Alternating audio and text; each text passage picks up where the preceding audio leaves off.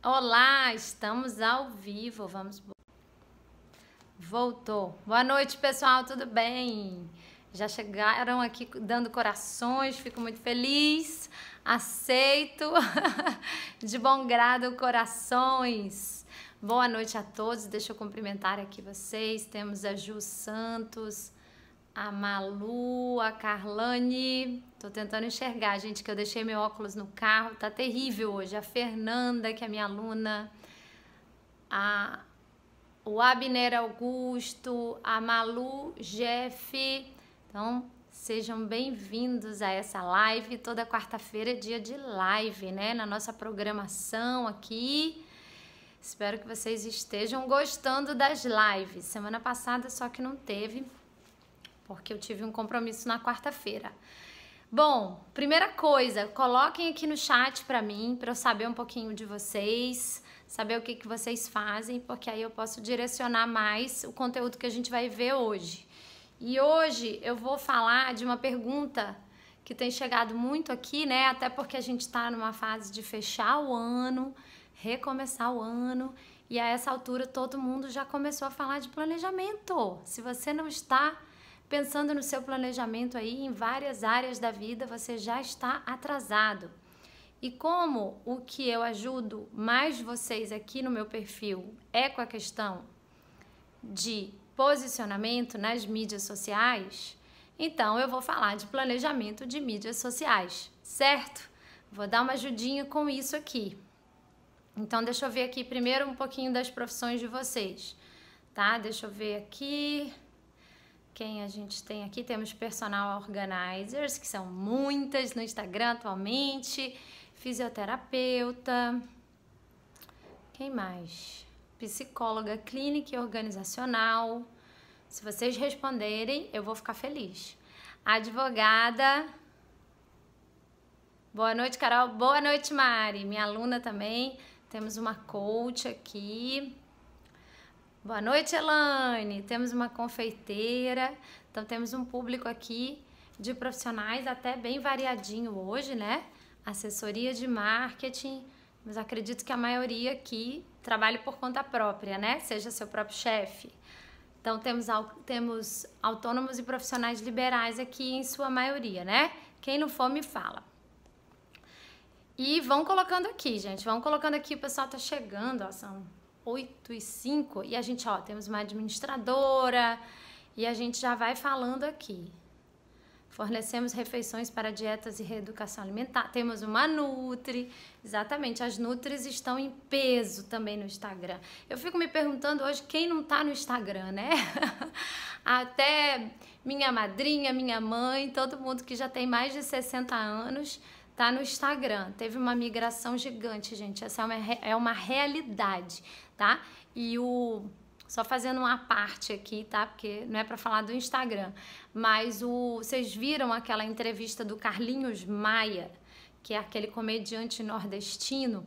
Ele deu uma entrevista no Danilo Gentili, que é um programa que eu adoro, e é, o Danilo falou que estava falando com ele que ele foi é, classificado como o segundo Instagram mais visualizado do mundo, só perdendo para Kim Kardashian. Acreditem se quiserem, mas é um fato. E ele conta na entrevista que ele trouxe a massa toda do Brasil para dentro do Instagram, né? Porque o Instagram era uma mídia social até pouco tempo um pouco mais jovem, um pouco mais elitizada, mais focada mesmo em profissionais, mais adulta.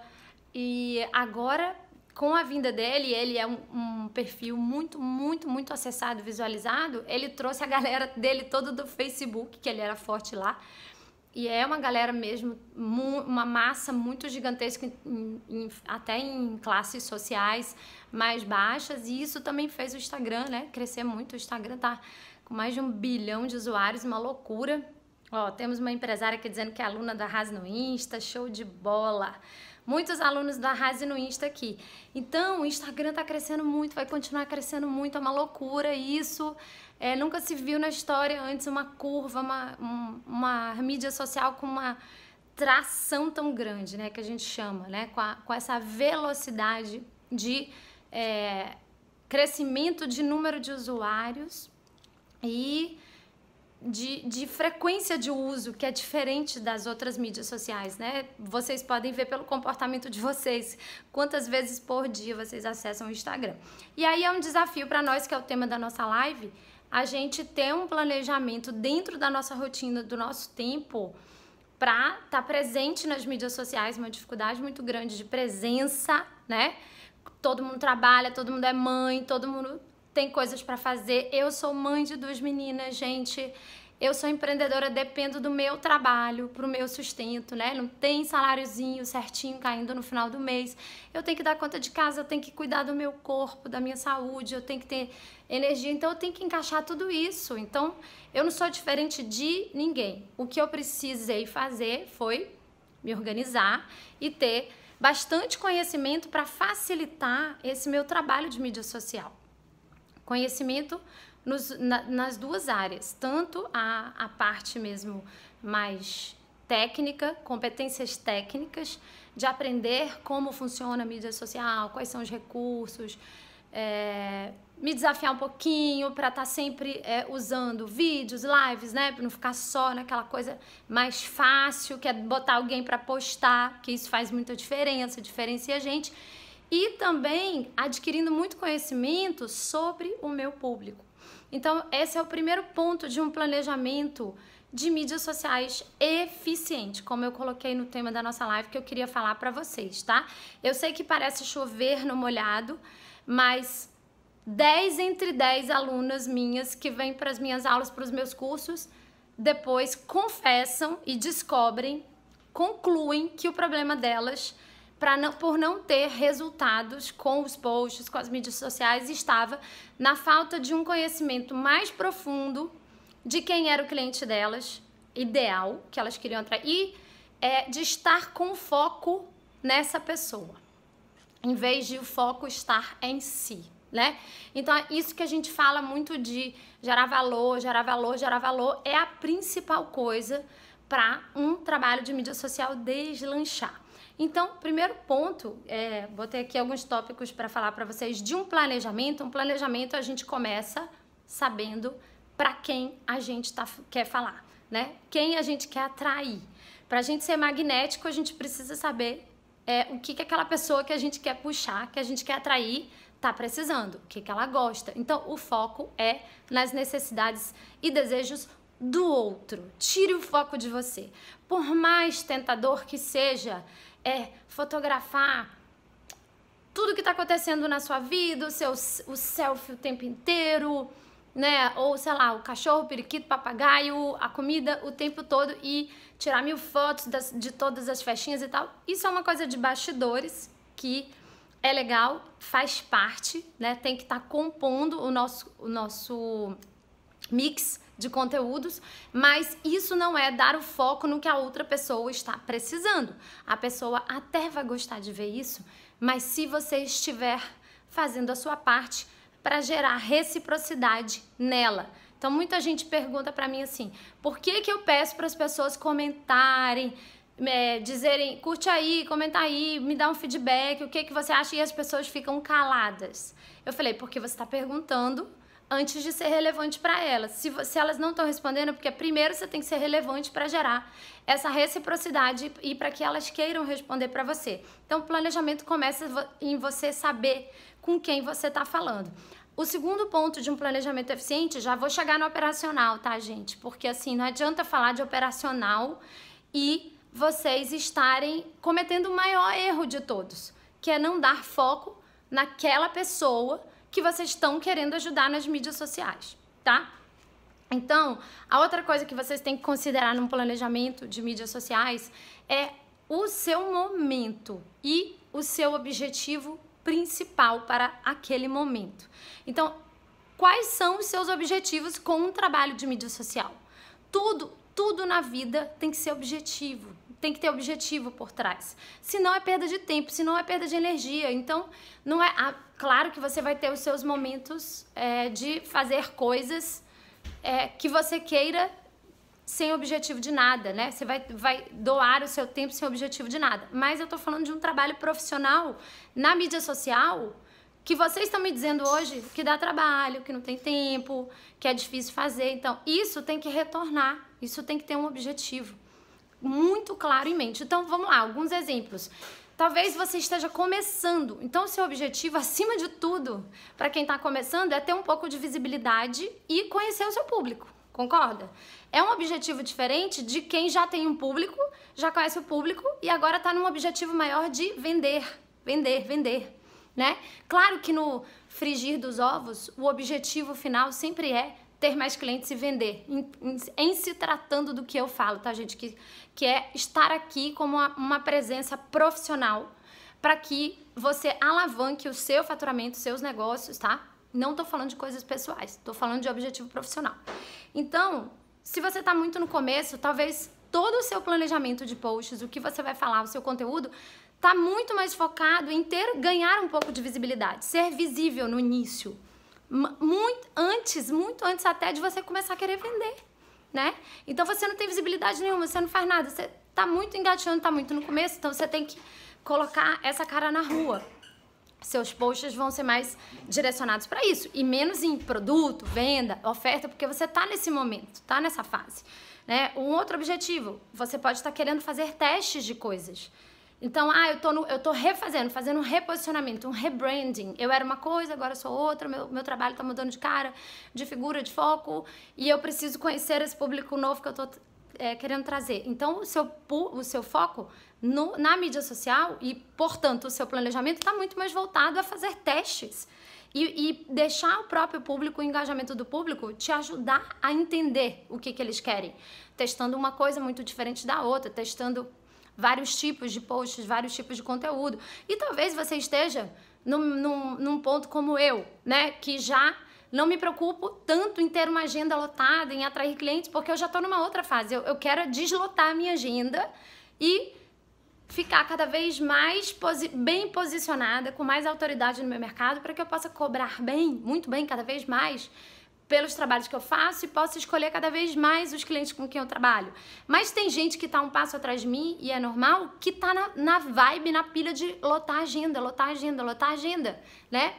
Então, as pessoas têm momentos diferentes. Antes de começar a fazer um calendário de posts, um planejamento de mídias sociais, você tem que reconhecer qual é o seu momento atual, de acordo com a sua realidade e aonde você vai dar foco. Planejamento sem objetivo não existe, porque planejamento é justamente a soma de objetivo com estratégia. Só que para ter estratégia, tem que ter objetivo antes. Estratégia é um caminho para você chegar num objetivo, tá?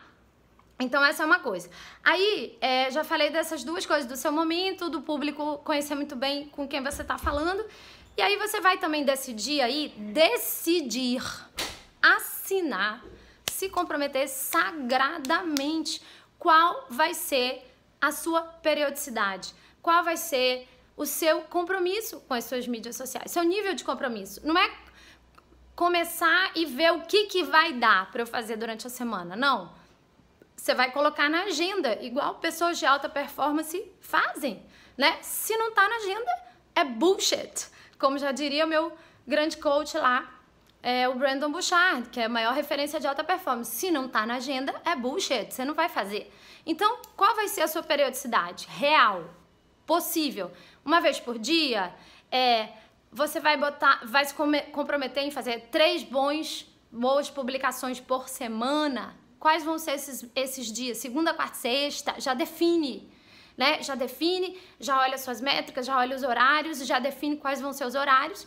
Ah, então isso significa que na minha agenda, aos domingos, 6 horas da tarde, eu vou tirar duas horinhas de 6 às 8 para programar esses posts e para produzir, né? Produzir esse conteúdo, esse texto e tal. Então, isso é a próxima coisa, é entender dentro da sua rotina qual vai ser o seu compromisso.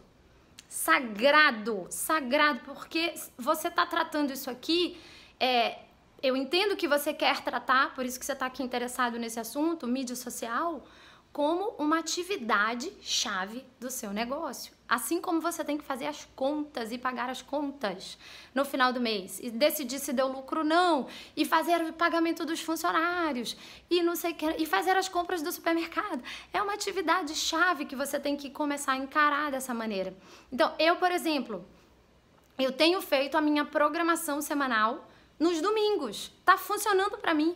Não quer dizer que tem que funcionar para você, mas é um dia que para mim é um dia, eu prefiro curtir o sábado hum, livremente, fazer muitas coisas, tomar cerveja, tomar vinho, fazer o que tem que fazer. É, sábado de manhã geralmente tem muita coisa ainda de filho, de casa, de não sei o quê.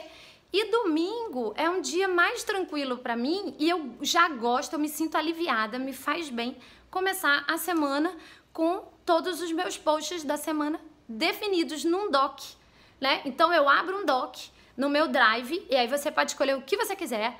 É, pasta na Dropbox, pasta no Drive, é, um painel que você abre no seu Trello, né? Que eu também recomendo usar o Trello lá no meu curso, inclusive eu mostro isso quem é aluna que sabe exatamente como que eu monto um calendário editorial no Trello, mostro passo a passo.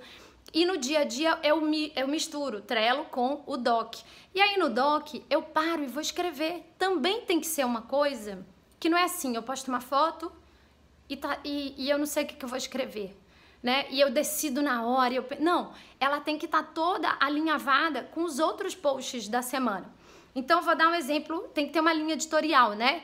Um, que, ou linha editorial, calendário de conteúdo, cada pessoa chama de um jeito. E, para mim, o calendário de conteúdo ele tem sempre alguns pilares, que eu também explico bem direitinho lá no, no Arrase no Insta. E eu tô falando aqui por alto para vocês. Lá eu mostro a tela, né? Mas estou falando aqui para vocês assim, como eu, praticamente como eu tô explicando lá, com a diferença que eu não tô mostrando a tela. Então, o que, o que, que você faz dentro da sua atividade? Como eu, eu sou uma consultora de marketing, tem que ter conteúdo de marketing, mas também tem muito conteúdo para atrair empreendedores, que é o meu público-alvo, empreendedoras principalmente, 90% do meu público. Então eu trabalho muito também com coisas que são motivacionais, porém um motivacional específico, não é qualquer motivacional. Eu tenho uma linha, eu tenho uma linha de posicionamento, é só o motivacional que desperta esse esse sentimento. Então a minha escolha de frases, a minha escolha de é, por exemplo, grandes celebridades, grandes nomes do empreendedorismo, o que, que eles falaram, o que, que eles disseram, qual foi o legado que eles deixaram, é, que tipo de lições eles deixaram, os livros deles, tudo isso eu tenho que fazer uma curadoria, eu tenho que fazer uma pesquisa e eu vou separando, né? Eu vou separando as coisas que fazem sentido para minha linha editorial, para o posicionamento de imagem que eu construo e que eu sei que é magnético o suficiente para atrair as pessoas do meu perfil, do perfil da minha persona.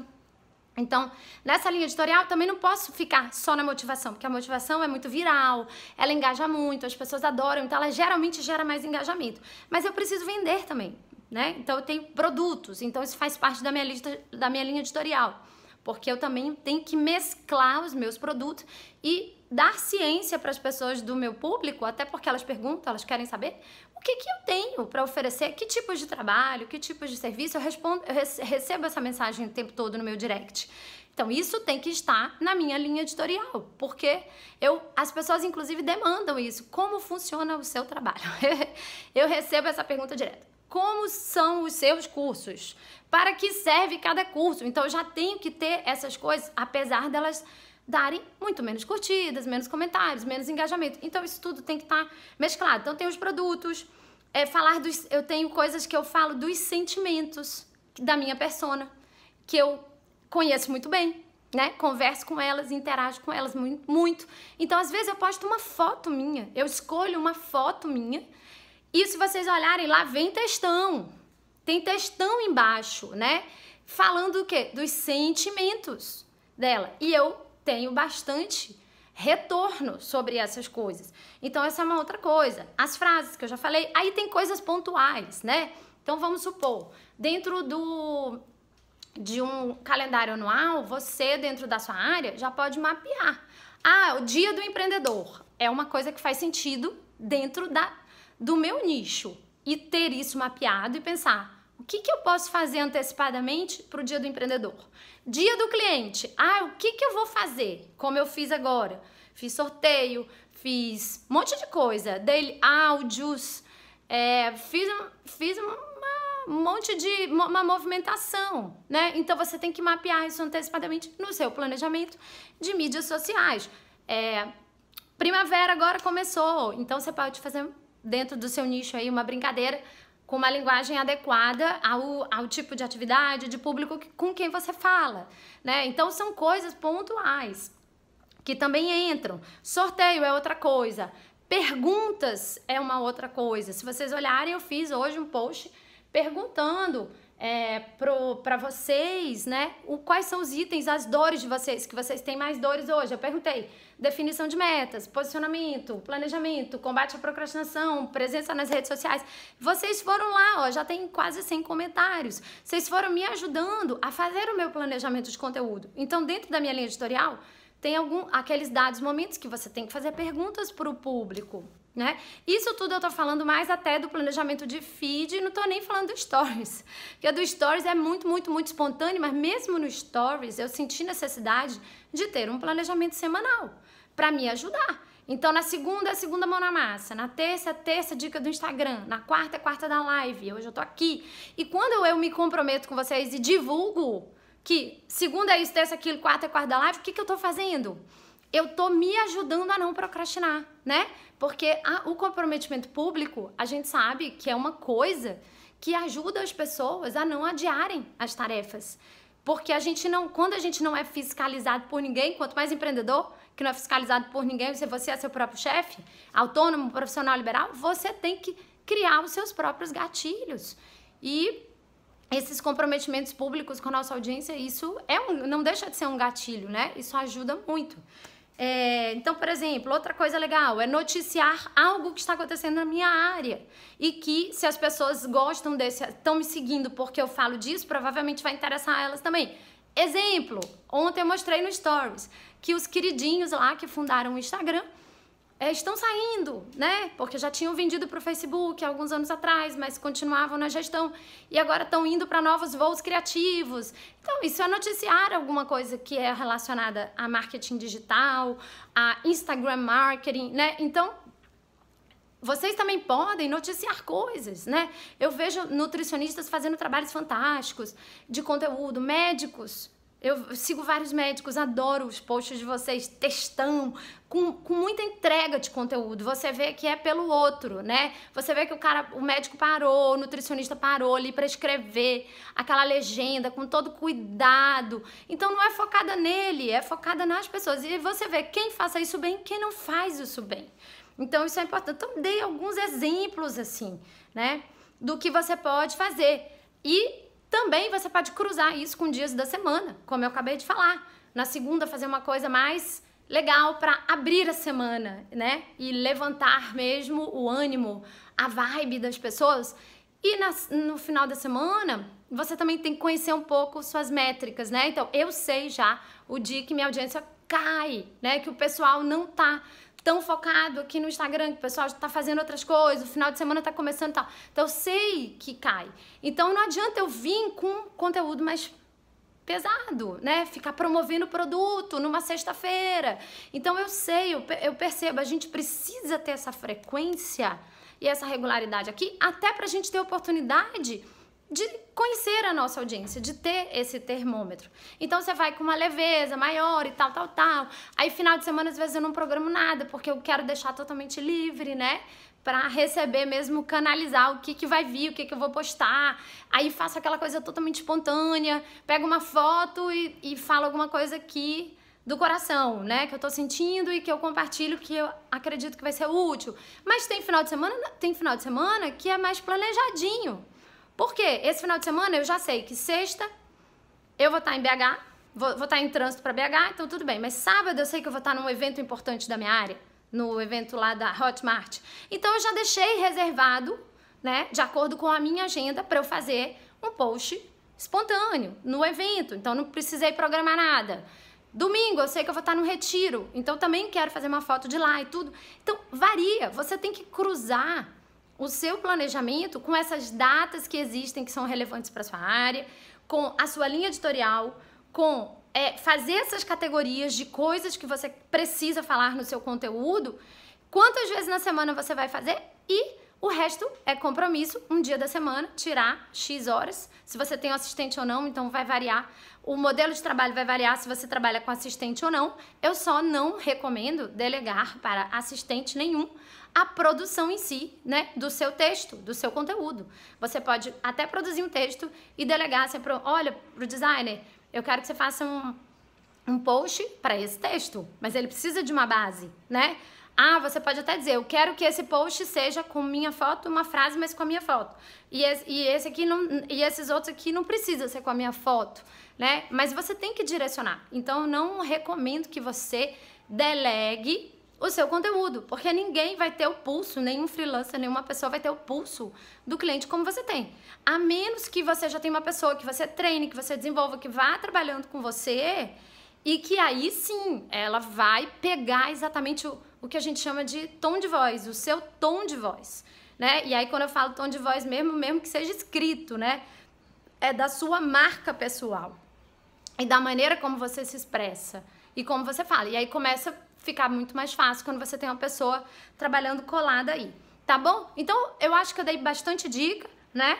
É, do ponto de vista operacional, eu uso um Word simples, gente, um doc eu dou uma simulada no feed, mas eu não me preocupo tanto com isso, tá tudo combinadinho, não é, não é uma coisa, uma preocupação minha. Para mim tem que ter identidade visual, mas não precisa estar super 100% combinado. Tipo assim, eu não deixo de postar um vídeo porque vai atrapalhar a harmonização do feed. Não, porque se o vídeo tiver um conteúdo bom, é mais importante que eu compartilhe o conteúdo para vocês do que esculhambar a minha harmonização do feed. Eu tô muito mais focada no conteúdo sempre. Para mim, ele, é, ele é mais importante, tá bom?